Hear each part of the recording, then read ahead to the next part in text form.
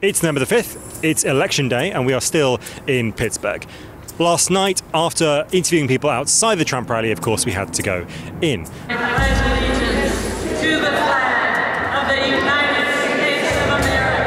What was it like? Loud, extremely intoxicating for about five minutes, and then ultimately quite tedious.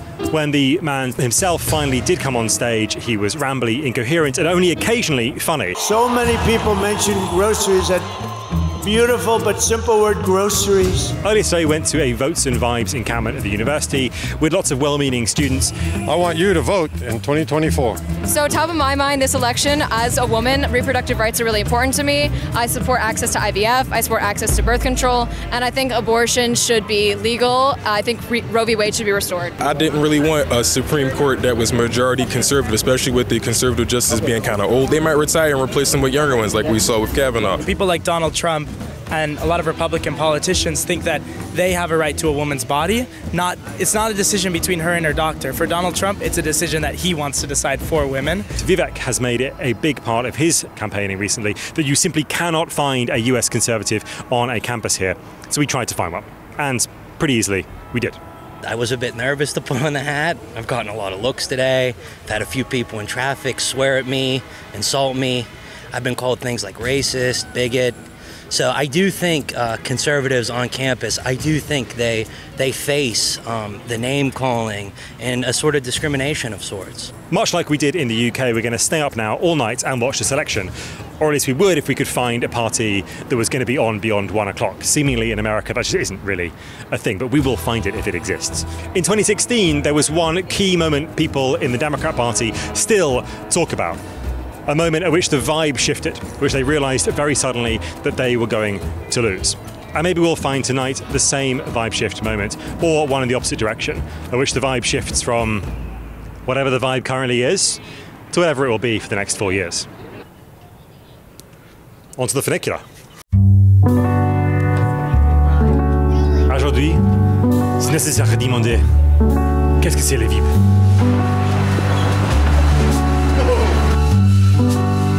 We spent a little bit too much time in cities so far, so we're heading out to a rural county, Beaver, which is just northwest of Pittsburgh, to find out what those voters are thinking about in this election.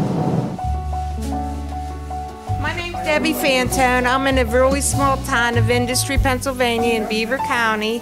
I'm one of the volunteers of the Republican Committee of Beaver County here at the office.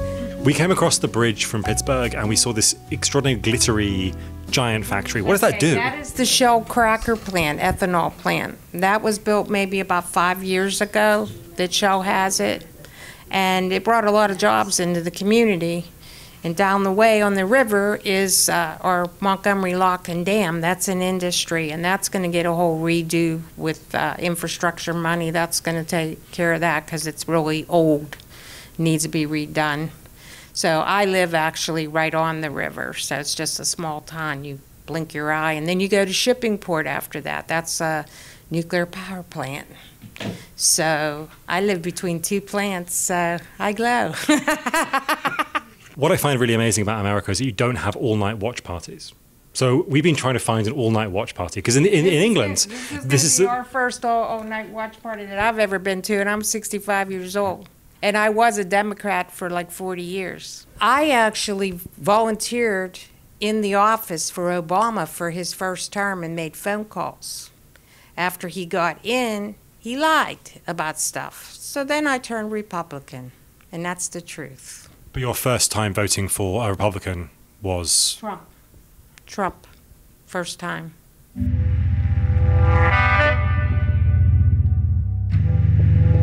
We've just gone past a house absolutely decked out, not in Halloween uh, gear, which we've seen a lot of, but in an extraordinary number of Trump signs and flags. When you're thinking about Trump, because Trump's been, you know, has said a lot of things, what are the things that appeal to you about Trump?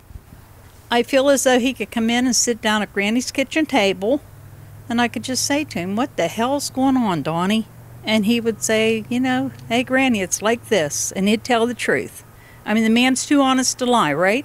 This used to be a Democrat state. Why do you think the Democrats lost it to I so many used people? To be a Democrat. Yeah. Yeah, but used to be a Democrat, and they, they just lie. And all this woke and boys going into the girls' room and playing girls' sports, and I just can't take it. What do you think is going to happen to America over the next 10 years? The world needs to fear us. Right now, the world laughs at us. I mean, if I was a leader of Russia or China, would you be scared? I'm, I wouldn't be scared. But with Trump, they don't know what he's going to do. And if he says it, it's probably already in place.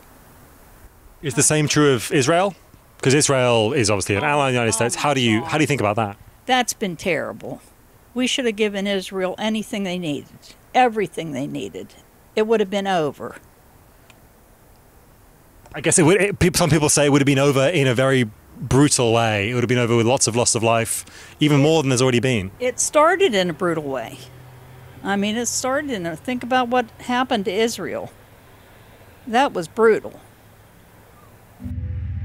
I tell everybody, I say the only thing would make Donald Trump a better president if I was his VP.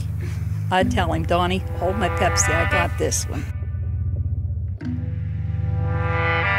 So we have stumbled across a Republican watch party entirely by accident. You've got it, they're calling it AV because the, uh, the the TV of the Republican watch. We're kind like I'm AV. you- you've got you've got some uh, British journalists who turn up who, who are actually AV, but we haven't managed to fix their TV. So who knows if they'll have anything to watch? But we should be on HDMI one. All this money in American politics and. Uh, we still can get the TV to turn on properly, you know. But we are now here at the Democratic Committee.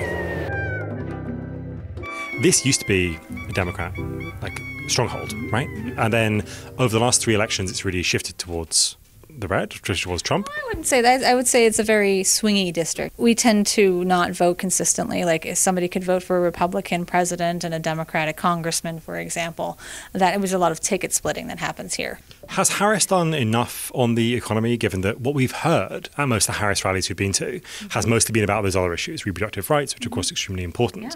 But we haven't heard a lot about the economy, about inflation, and it feels like that sort of blue collar sector of Democrat workers perhaps hasn't been feeling that message coming through.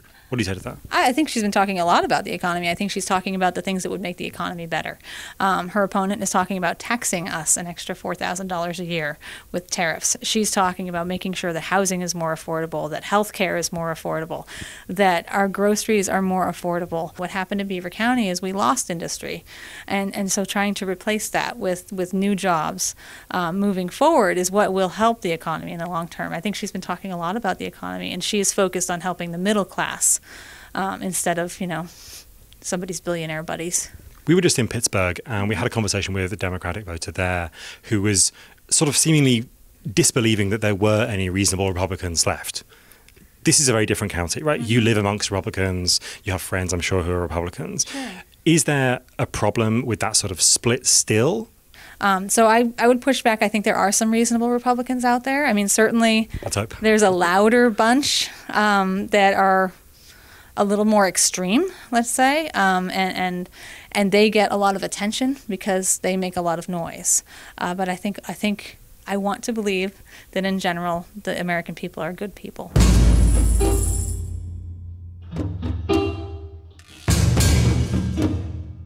So we're here at a polling station in Beaver County. Uh, we're not quite sure what we're trying to find here. There is a breaking news van, nothing very much breaking yet, but uh, the first results will be out in about half an hour. You're a poll worker here. I am a poll worker, yeah. How's it been today? Very busy. So we're about 85%, um, which is really unheard of for our precinct. Um, we had about over 285 mail-ins, and we're at almost 700 um, that actually came out today, so it's super exciting. Um, bigger, probably the biggest that we've had for presidential. I've been working the polls since Obama. There's loads of conspiracy theories in this election about election interference. Obviously, I'm assuming you haven't seen any of that inside. We've not, so we've had a watcher here all day.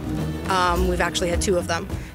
When we came across the bridge from Pittsburgh, we saw on our left this extraordinary factory. I think it's a Shell factory. That's a brand new factory, a fracking company, you know, Shell. And there's, what, I think 300 and some people there working. That's it. So um, that's one of my focuses. I want to bring some economic development to this area. We need it. We used to be one of the largest places in the world, the best place to work. J&L Steel was incredible. You know, there was 15,000 guys working out of J&L Steel in Aliquippa. That's gone. It's five to eight. That means that it is time for polls to close, and we're going to the Republican Watch Party to see them. We're back, and I hope they have the TV working because otherwise it's going to be a bit of a damp squib of watch party.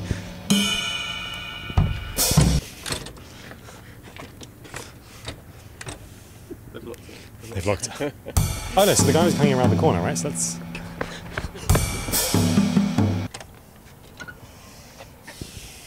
We can't get in.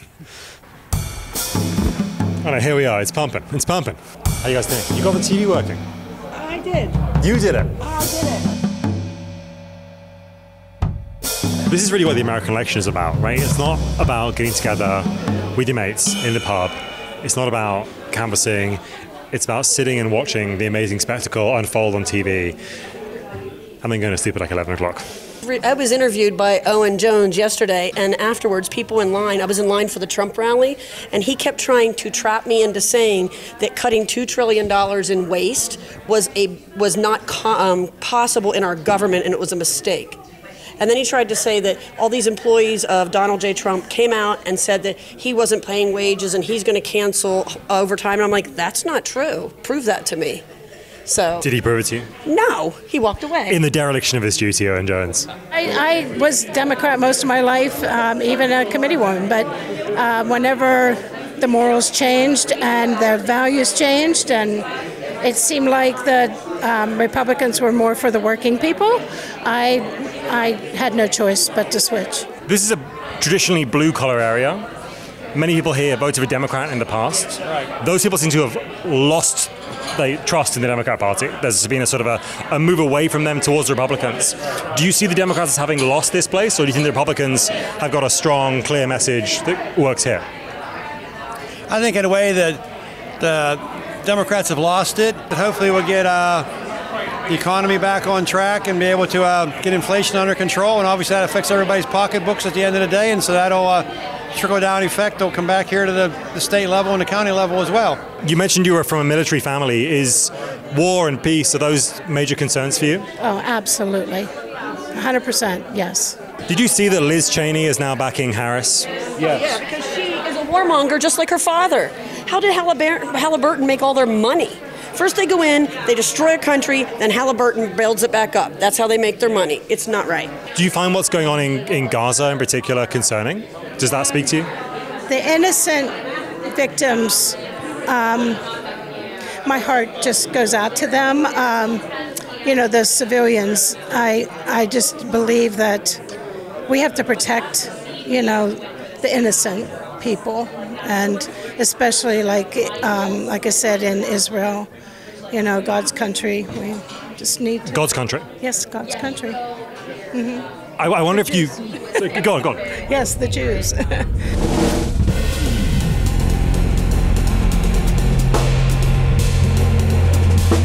We're heading back now towards Pittsburgh. It's five to nine in the evening, and we've just heard that Trump has won Miami-Dade County, which is the Miami area in Florida. He's also won the whole state of Florida, of course.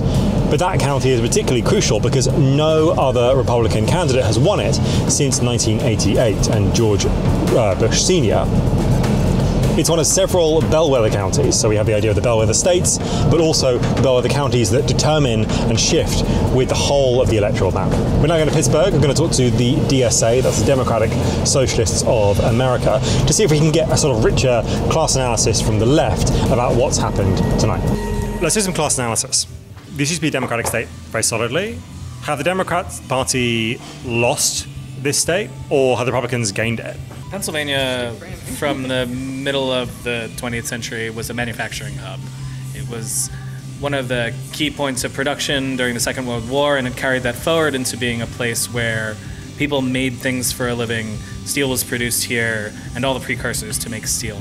The reason that I imagine that Pittsburgh and Western Pennsylvania, and to the extent any other Rust Belt state, would have moved from a Democratic uh, stronghold to a Republican one is based on who they're courting and the promises they're making. And since the Clinton administration and since the neoliberal policies have dominated the Democratic talking points, we're simply not seeing things promised to working class manufacturing sectors in this country.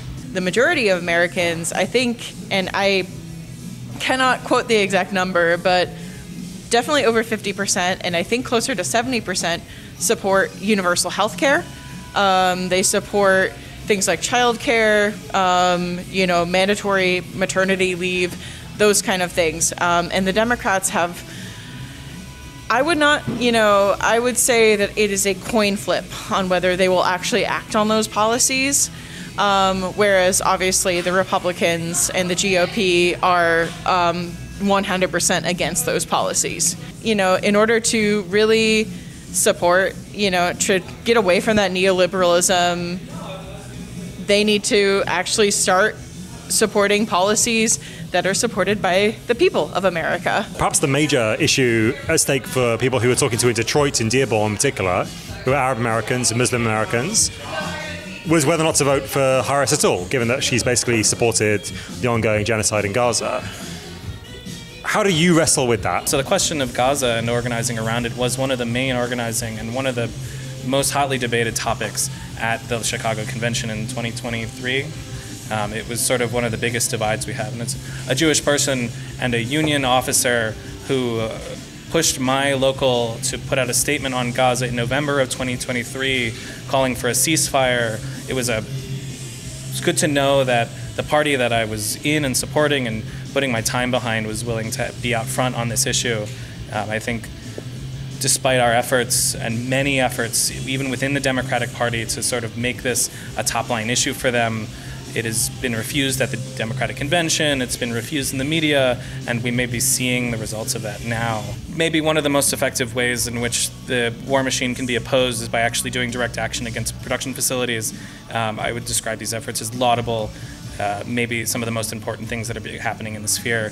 In America, firearms are a reality of daily life. Everyone from a Walmart security guard at a retail location could be armed with a deadly weapon, possible, like able to kill a person in a moment. That sort of threat of deadly violence is always going to be present whenever entering unauthorized areas. Everything from somebody's vacant properties to uh, stealing from a 7-Eleven could be faced with this. I mean, in, in terms of like my gut reaction to like why isn't it happening here is like it's gonna basically be a life or death struggle every single time you engage with it. Political violence is not just a right wing tradition, it's also a left wing tradition. Does the right to storm the Capitol have to be defended for the left? People are thinking. This is a good question. Um, I know people definitely joked like, "Oh, people are storming the Capitol! Yay! Just kidding, it's the fascists! Boo!" Like, I mean, the possibility of revolution is so attractive to the left, but in theory, like, it's it's hard. I mean, are you willing to die for something? Is such a huge question, and like, are you?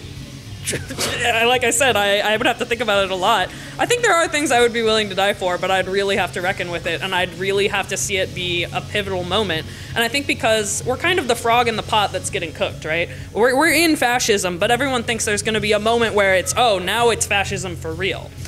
And at what moment does the frog realize it's getting cooked and decide, okay, I'm going to jump out of the pot and risk the fire instead of the pan? It's hard to decide.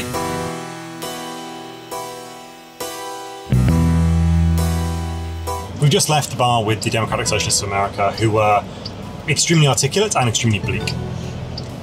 It looked from the coverage that we could see behind us that Trump was doing really, really very well. There's a thing called the Red Mirage, which is this idea that those voters for Trump, particularly rural voters, get their votes counted early because there are fewer ballots. And then later on during the night, it kind of shifts blue. I'm not that hopeful. It's sort of borderline whether or not she'll win the popular vote, which Democrats have won for the last five elections. We're in downtown Pittsburgh, basically empty. We were told by the DSA that there wasn't really much of a nightlife uh, in this city, and that's certainly true even on election day. Even though there's no one out here, you can sort of feel, maybe this is just projection, that the vibe has shifted towards something like a Trump victory. The New York Times, in fact, was just projecting a 75% chance of a Trump victory. Some of the money markets have him at 90. You're seeing Trump winning. Yeah, Trump winning. How does that make you feel? Good. We're journalists from England. How you doing? You know there's an election on tonight? You don't want to talk about the election. Have you seen the news? I've seen the news and I've seen the political aspect of everything, and I love politicians. I love political aspects, and uh, people. Somebody has to govern something, or we'll go crazy trying to govern ourselves. So it looks like Trump's going to win. Yeah, it's definitely it's looking that way. yeah, it's really looking that way. How do you feel? I mean, It's all right. But, but like the women, You don't seem that the enthused. Reproductive, the reproductive health is important. But like that's really like my main reasoning. That's all I got to say. Yep. But like, hey, America, man, I'm proud of it either way. I'm indifferent, man. You're different. Yeah, I've, I'm 35. I've voted in three elections now, and I haven't seen the economy change. It's only gotten worse, so I really don't care who wins. I want Kamala to win because one, Trump's trying to stop SSI and stuff like that, and my sister get SSI. She has Down syndrome, so I definitely don't support that. How's it going? No comment. I think Trump is going to win. My dad fought in World War II. And I have to say, if he was alive today, as long with all the other veterans that fought in the World War II and saw everything going on with the Jewish people in Israel, and it, it's it's appalling. It is really appalling. There's so much hate, and you could be you can disagree with someone, but you don't have to hate them for it. Talking about anti-Semitism now. So you're referring to the Holocaust here, right? Well, sure, the yeah. industrial murder of Yeah, six million I'm- Jews. I'm sho- I am shocked that it has, um, you know, resurrected here in the United States again. I, I agree. Anti-Semitism is out there, but can you be more precise? Um, I think that one, the first thing is people have gotten away from God in their life. So that's where the hate comes in. The second thing is we're all shocked at some of the, the main educational and academic institutions in the United States of America have supported anti Semitism. In the form of saying things like "Free Palestine" and so on. Well, yes, they don't understand. We're, I mean, we, it's not that we want Palestinians to be killed or murdered or hurt, but what is the number? 70 to 80 percent of the Palestinians are Hamas. That seems slightly unlikely to me, but go on. War is not fair. It never was biblically, and it isn't now.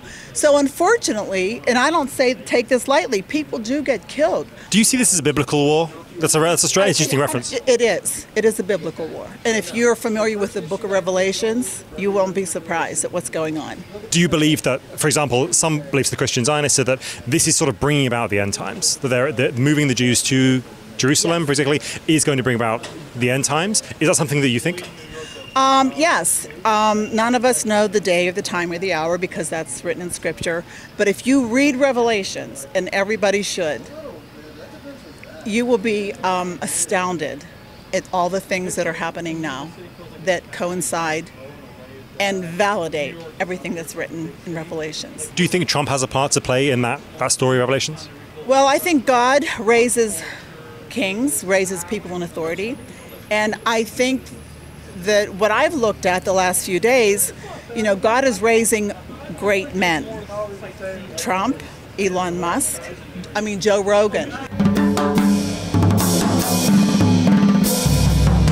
We're in. How are you feeling about tonight? Well, you know, I was originally expecting it to be a Democrat win, but Republicans are doing pretty good uh, throughout the state. So I would say they're terrified. I would say they're really scared about what a Trump victory means for this country. What do you say to the people who are, you know, at the, right now feeling quite a lot of fear? I think it's unrealistic to think that you know Trump's going to do anything negative towards our country. I think every politician comes into the United States wanting to make positive change. He's making great inroads with uh, African American votes, with Hispanic male votes, and just across the board, um, all the numbers look like they're going up. Oh my god, I love, I listen. For Trump. I, I, I've voted Democrat for the last 20 years, actually, and I feel victimized by the party. I feel like they could have codified Roe v. Wade in the five plus decades that they had, but they chose not to so that they could keep women voters with a gun to their head for that's all I do. for voting and it sickens me all of my li- i can't even go near my liberal girlfriends at this point because they're just like subscribed to like this insidious liberal rhetoric. Why should we give our money to anyone else but this country? i'm an isolationist for sure. If you understand anything about American politics, it's like, why is everybody giving their money to Israel, to Ukraine? No one gives a fuck. I'm, I'm, I'm gonna keep. No one gives a shit. It's just like I, I'm gonna vote for someone because they're a fucking woman. Actually, if no one gives a a fuck. pussy but not a brain no one cares as long as they have a pussy they'll vote for her Sorry. I think independence of thought is crucial, and it's nearly impossible. I I do not subscribe to the uh, commercial-free YouTubes. Religion is fine with me, but I. I Uh, she, that's she's Nathan. why there are still issues, though. Like, if we would just collectively say, I like, don't care. religion I'm is not- I'm not gonna be that- antiquated, that's- let's that's- get rid of that's it. It would it would That- solve a is lot of issues. But I still went out and voted for Trump. Do you see I would have loved to see. do you see support for Israel as wasteful spending? Uh, well, I don't. I love her. See, we we can argue all, all, argue all day, She we're- made Mike Pence swear her in on a law book instead of the Bible. I love that for her. Mike. And then we have Kamala Harris.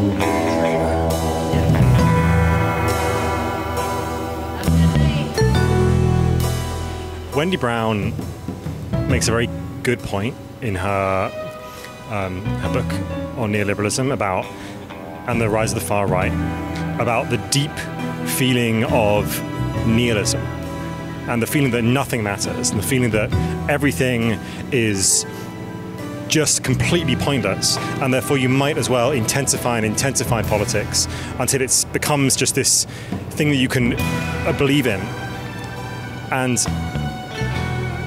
when I talk to people like that, I feel there's such a deep truth to that. That the Trump vote is really not a vote about politics.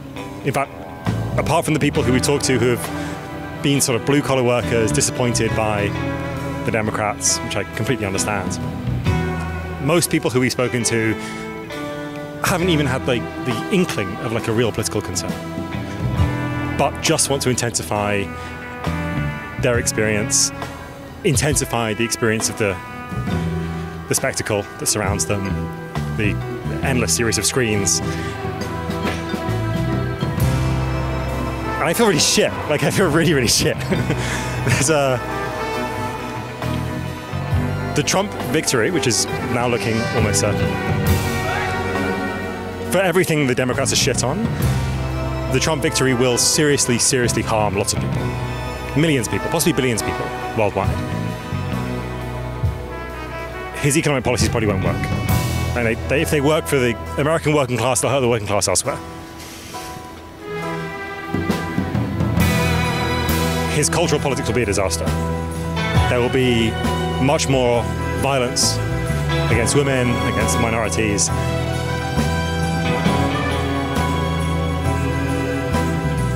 It's a really fucking bad night.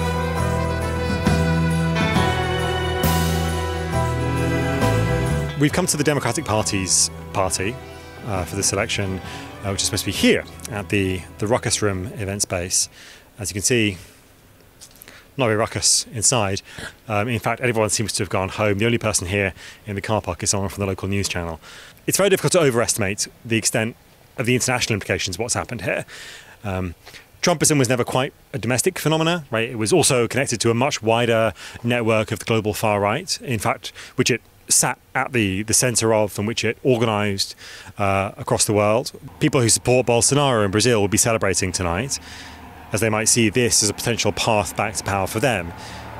People in India who were chastened in the recent elections by the Congress Party might be celebrating as well. And certainly Benjamin Netanyahu in Israel will be celebrating, because this victory will almost certainly give him carte blanche to accelerate the genocide against the Palestinians in Gaza. In the UK context, Farage and Tony Robertson will both be pleased about this, as will Kemi Badenoch, who I believe, while I've been away, has become the leader of the Conservative Party, which I was not expecting.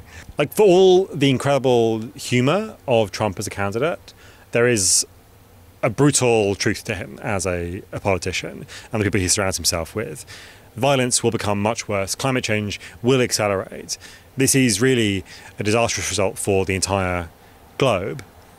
And to celebrate that disastrous result, we're going to go, like many Americans do, to the casino to drive home the nihilism of what it is to be alive right now. So they just called Pennsylvania for Trump. So it's over. And uh, calls for a costume change. Ah. We just Yeah. we just heard that Donald Trump won Pennsylvania. That seems like he won the presidency now. Uh, there, it's inevitable. They just said on the TV, they haven't talked much in this campaign about foreign policy or much on the TV about foreign policy. But imagine the celebrations in Israel tonight. It's all lies. Trump is a good person. God is with Trump, and I believe in God, and he's going to do good. We were both there when he took the bullet. There were two people that were critically injured in the stands that we were sitting in. He took a bullet for us. I think Donald Trump wants to do the right thing with everything. Yes?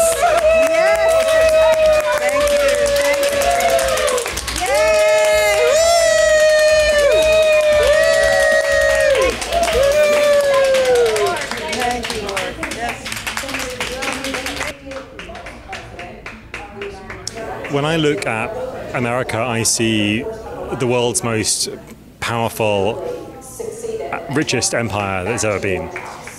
That spans the entire globe and that dominates almost every other country in the world. And this psychodrama that it has got itself into, in which it imagines itself to be beset by enemies at every turn, to be somehow the victim, somehow vulnerable, there are real deep-seated problems in the country, real profound inequality here, real profound poverty and anomie and a loss of meaning. And yet this intensity of that psychodrama is almost inexplicable to me.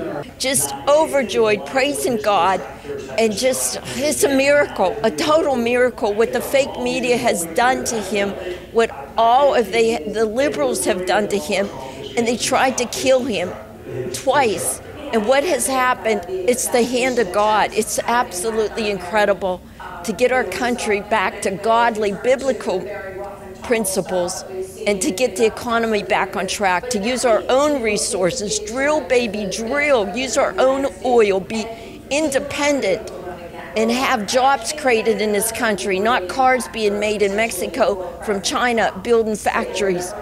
It's just, it's over, it's just overwhelming. It's incredible. We're just so thrilled, so, so happy.